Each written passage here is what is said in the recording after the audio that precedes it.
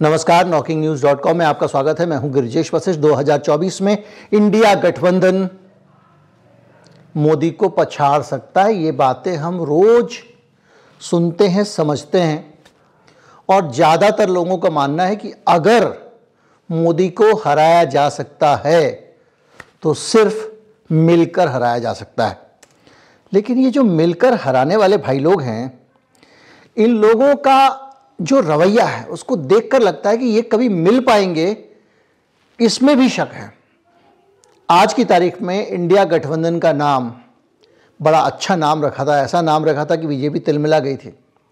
लेकिन मुझे लगता है कि ज़्यादा जो सटीक नाम है, जो इनके ऊपर फिट बैठता है, वो नाम है फूफा गठबंधन। इसमें सारे फूफे हैं, फुफड़ हैं, फुफड़ पंजाबी में कहते हैं, फूफियाँ हैं ये सब आपस में इतने ज़्यादा हवा में रह रहे हैं कि कभी आप इनकी इन हरकतों को देख लें तो आपको लगेगा कि भैया, ये तो सारे मोदी जी से मिले हुए हैं। और ये भी हो सकता है क्योंकि मैं आपको जो बताता रहा हूँ, कई पॉलिटिकल पार्टीज़ को मैंने बी टीम बताया है और मेरे पास में लोगों के कमेंट आए कि भाई आप उनको बी टीम करें ये तो गलत है। लेकिन अब आप देखिए पूरा पैटर्न दिख रहा है, वो कौन कौन से लीडर्स हैं, वो कौन कौन से पॉलिटिशियंस हैं, और वो किस तरह से खरमंडल डाल रहे हैं। कहीं मत जाइए चैनल को सब्सक्राइब कर लीजिए। आज अच्छी जानकारियाँ आपको मिलने वाली हैं। सारी खाम ख्यालियाँ भी दूर हो जानी चाहिए इंडिया गठबंधन को लेकर। मैं अभी आया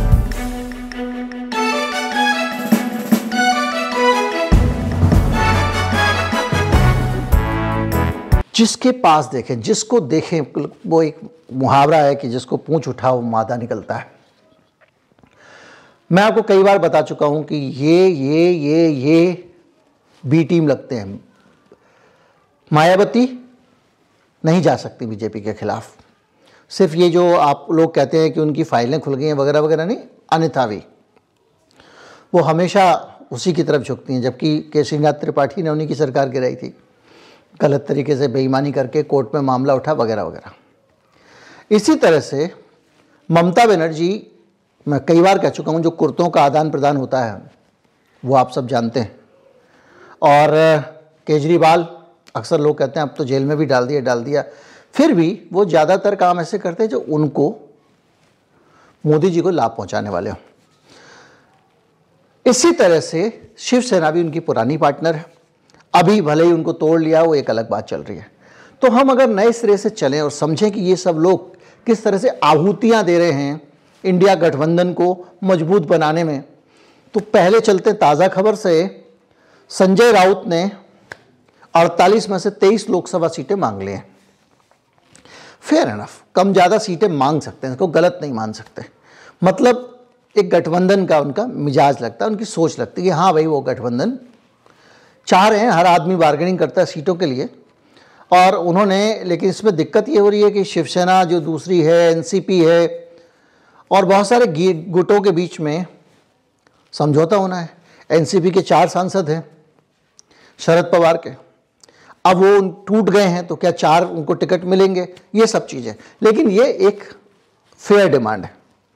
लेकिन आप एक ऐसी हरकत देखिए जिससे आप चौंक जाएँगे। खबर आई है कि नीतीश कुमार की पार्टी में जो उनकी पार्टी के अध्यक्ष थे, उनको लालू यादव की पार्टी ने तोड़ लिया। दोनों पार्टनर है भाई। धोखा देके लालू यादव की पार्टी ने तोड़ा और वो बारह विधायकों के साथ लालू यादव के साथ शामिल होने वाले थे और और तेजस्वी यादव को मुख्यमंत्री बनाने वाले थे। ऐसी खबरें आई थीं। कल तक खबरें आ रही थी, वो खंडन कर रहे थे और आखिर में उनका इस्तीफा ले लिया गया। अब ये खबर, ये भी हो सकता है कि ये पूरी ही बनाई गई खबर हो और उन्होंने अपने पार्टी अध्यक्ष को हटाया वो बहाने से और एक उन्होंने ग्राउंड ढूंढ लिया। इस गठबंधन से बाहर निकलने का, इंडिया गठबंधन से कुछ भी हो सकता है, क्योंकि नीतीश ने हमेशा दक्षिणपंथी ताकतों के साथ हाथ मिलाया है। शरद को भी इसके लिए धोखा दिया था, ये उनका रिकॉर्ड है, ये बैकग्राउंड है उनका। लेकिन अब जो समझ में आ रहा है, वो ये आ रहा है कि मान लीजिए उल्टा भी है, लालू यादव की पार्टी ने धोखा दिया है तो जिसके साथ आप चुनाव लड़ने जा रहे हो लोकसभा का, उसकी सरकार गिराओगे। तो कैसा गठबंधन करना चाहते हो? 2019 के लिए क्या सोचा है आपने? क्या सचमुच मोदी जी को हटाना चाहते हो? ये एक तस्वीर दिखाई देती है। मायावती, पूरी दुनिया मायावती के नाम पे भैया मायावती आखिरी समय में उठ खड़ी होंगी, बीजेपी से त्रस्त हैं, फाइलें खुल जाएँगी, इस डर से नहीं बोल रही हैं, वगैरह वगैरह, लेकिन मायावती की तरफ़ से क्या प्रस्ताव आया? उनके एक सांसद है मलूक सिंह नागर, बहुत अमीर आदमी, हिंदुस्तान के शायद सबसे अमीर सांसद हैं। उन्होंने मायावती की तरफ़ से एक जवाब दिया है। और मलूक नायक ने जो बयान दिया है मायावती की तरफ़ से, वो ये दिया है कि भैया, कांग्रेस पार्टी ने हमारे दो विधायक तोड़े थे मध्य प्रदेश में, उसकी सजा तो कांग्रेस को दी जाएगी। लेकिन हाँ अब हम गठबंधन में जा सकते हैं, इंडिया गठबंधन है, लेकिन एक शर्त है। शर्त क्या है? कांग्रेस पार्टी प्रधानमंत्री के लिए मायावती का नाम प्रस्तावित करे। क्या ये गठबंधन बनाने वाली बात है या बिगाड़ने वाली बात है, ये फूफी बनी कि नहीं? अब इसको पूरा आप समझें तो आप अभी मैं आगे आऊँगा, समझाऊँगा कि किसकी क्या हैसियत है वैसे भारत में। कितनी सीट मांगने का किसका मुँह है, इसको हम समझेंगे। तो ये हालत है। इसी तरह से ममता बनर्जी ममता बनर्जी एनडीए गठबंधन में जाती हैं बैठक में, और कुर्ते भेजने वाली जो बातें हैं, वो दिखाई देती हैं। वो बोलती हैं कि साहब, वो राहुल गांधी की जगह खड़गे को आप अध्यक्ष बना दीजिए। ठीक है, हो सकता है, कोई बड़ी बात नहीं है। ये मांग हो सकती है कि प्रधानमंत्री कौन हो आपका उम्मीदवार। लेकिन अभी जो 26 तारीख को उनकी एक वहाँ पे सभा थी, उसमें उन्होंने कह दिया कि बंगाल में ना तो हम कांग्रेस से गठबंधन करेंगे और ना हम कम्युनिस्टों से गठबंधन करेंगे। हम बंगाल में अकेले ही चुनाव लड़ेंगे। यानी जहाँ पे आप सबके साथ मिलके एक बेहतर चीज़ें बना सकते हो। मैंने कल ही बताया था कि कई सीटें ऐसी हैं ममता बनर्जी की जो बहुत पतले पतले छोटे छोटे मार्जिन से जीती थी, अगर ये गठबंधन बना लेते, वो बच जाएँगे। लेकिन नहीं साहब, फैला दिया रायता। सबके अपने नखरे हैं। अब अखिलेश यादव, कुछ लोगों का कहना है कि अखिलेश यादव अपना चुनाव का बदला लेने के तैयार बैठे हुए हैं। दूसरी तरफ़ सिद्धारमैया ने फिर कहा कि भाई पीएम बनेंगे तो राहुल गांधी बनेंगे। साउथ इंडिया की तरफ़ से, कांग्रेस की तरफ़ से राहुल गांधी का प्रस्ताव आ रहा है। इन सारी चीज़ों में, इनके बीच में आप देखते जाइए। नीतीश का मैंने आपको बता दिया कि किस तरह से लल्लन सिंह को उन्होंने हटा दिया है। अरविंद केजरीवाल, उनको पंजाब में तेरह में से तेरह सीटें चाहिए लोकसभा की। हम तो सब सीटें चाहिए, हमको गठबंधन में, दे दिया बयान उन्होंने। अब आप बताइए कि तेरह में से तेरह लोकसभा सीट दे देंगे तो बाकी लोग घुइयाँ छीलेंगे पंजाब में। पंजाब में आपकी राज्य सरकार बन गई है, लेकिन लोकसभा में आपकी पहले कितनी सीट थी? ये एक बड़ा सवाल तो है। अभी इस पूरे गणित के बीच में अगर आप समझें तो लल्लन सिंह का मैंने आपको बता दिया, इन सारी चीज़ों के बीच में अब आपको लगेगा कि ये सारे लोग रायता प्रमुख हैं। अब आप एक पहचान करिए। अब इन लोगों के सारे रवैये को अगर आप देखें तो आपको क्या लग रहा है?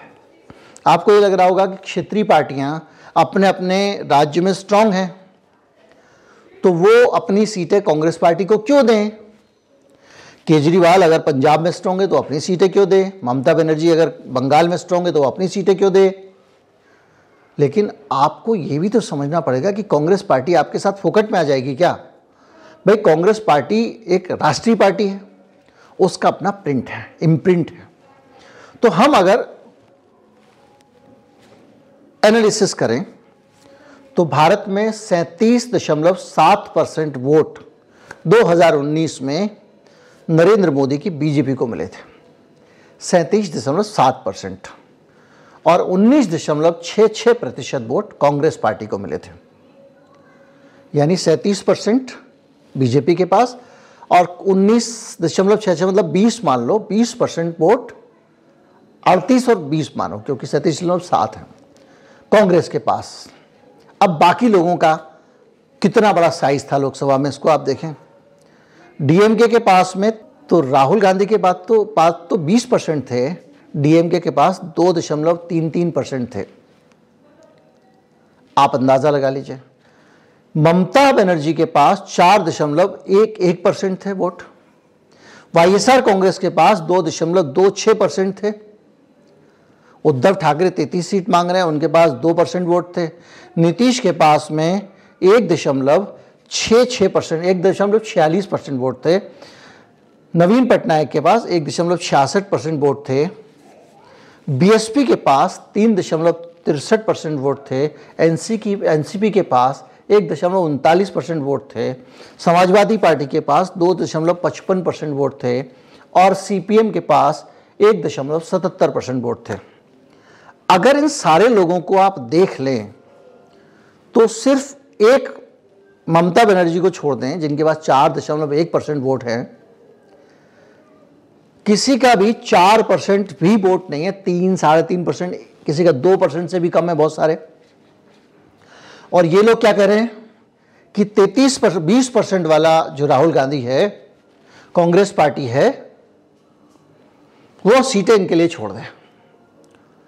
तो अगर बंगाल के लिए बंगाल वाले को सीट छोड़ देंगे, यूपी के लिए यूपी वाले को छोड़ देंगे, मायावती तो करिए पीएम कैंडिडेट बना दो उनको।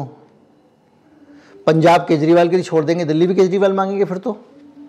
तो ये गठबंधन हो पाएगा क्या? नहीं हो पाएगा।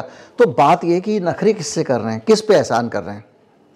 और इस पूरे, इसी सवाल के पीछे पीछे पूरे इंडिया गठबंधन का ये सवाल छिपा हुआ है। किस पे नखरे कर रहे हैं? उनको क्या लगता है? कौन आदमी है मेजबान जिसके कि ये फूफा बने हुए हैं। भाई गठबंधन तो यही लोग बना रहे हैं। क्या ये ये मान के चल रहे हैं कि कांग्रेस पार्टी ही सब कुछ करेगी और हम कांग्रेस पार्टी को ब्लैकमेल करके या दबाव बना के उस पर ब्लैकमेल शब्द ठीक नहीं है। हम कुछ सीटें ले लें। लेकिन ये सब जो हो रहा है ना, पब्लिक में, इस सब का संदेश बड़ा खराब जा रहा है।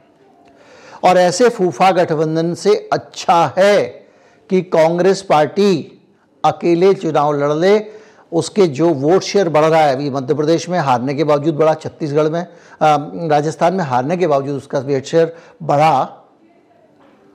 अगर वो थोड़ी ताकत लगा देती है अकेले के दम पे, थोड़ा खड़गे और राहुल गांधी वगैरह तो ठीक है, ये 20 परसेंट जो है, इसको 25 परसेंट होते हुए टाइम नहीं लगेगा। लड़े अकेले। क्योंकि सरकार मोदी को हटाना अगर आपको मोदी से डर लगता है तो बात अलग है। अब ये अलग बात है कि कुछ लोग ऊपर से मोदी से डर जताते हो अंदर ही अंदर मोदी के साथ उनका प्रेम भाव चलता हो, जैसे ममता बनर्जी को कभी मोदी जी ने डिस्टर्ब नहीं किया। केजरीवाल की सरकार और उनकी सारी चीज़ें, हर बार केजरीवाल ने बीजेपी को ही फ़ायदा पहुँचाया, कांग्रेस को नुकसान पहुँचा के आप देख लीजिए सारे चुनाव। गुजरात में जाके लड़ जाती है वोट काटने के लिए? केवल ओवैसी थोड़ी है बीटीएम तो ये सारे लोग, मायावती, नीतीश तो क्या ये माना जाए कि मोदी के हाथ में सारा कंट्रोल है और ये इस तरह के फूफा टाइप के लोग उस मोदी से लड़ने जा रहे हैं जिसके बारे में लोग कहते हैं उसका ईवीएम है? उस मोदी से लड़ने जा रहे हैं जिसके बारे में लोग कहते हैं उसका पेगासस है? उस मोदी से लड़ने जा रहे हैं जो कहता है, मेरे पास ईडी है। जिसके पास जो कहता है कि मैं किसी को नहीं भी छोड़ूँगा, मोदी की गारंटी है सबको अंदर करूँगा। उस मोदी से लड़ने जा रहे हैं जिसके पास सीबीआई है। उस मोदी से लड़के लड़के के जा रहे हैं जिसके पास ईडी है, जिसके पास अडानी है, अंबानी है बेनतहा पैसा। उससे ऐसे फूफागिरी से लड़ लोगे। अगर आपको जीतना है तो समर्पण आपको चाहिए होगा, जो मुझे कहीं नहीं लगता कि इनके अंदर है। हो सकता है कि सीटों के लिए दबाव बनाना समझ में आता है, लेकिन इस तरह क्या दबाव कि हम तो अकेले लड़ेंगे? हमको सारी सीटें दे दो। इससे तो चलवे ना। हो सकता है कि ये सब लोग अभी पिच कर रहे हो, बाद में जाके मिल जाएँ, लेकिन अब समय ज़्यादा बचा नहीं है। एक सही संदेश जाने के लिए इनको जल्दी काम शुरू करना पड़ेगा। तीन राज्यों के चुनावों के पहले भी ये अलग अलग थे, उसका भी इन्होंने नतीजा देखा है। नमस्कार, जय हिंद।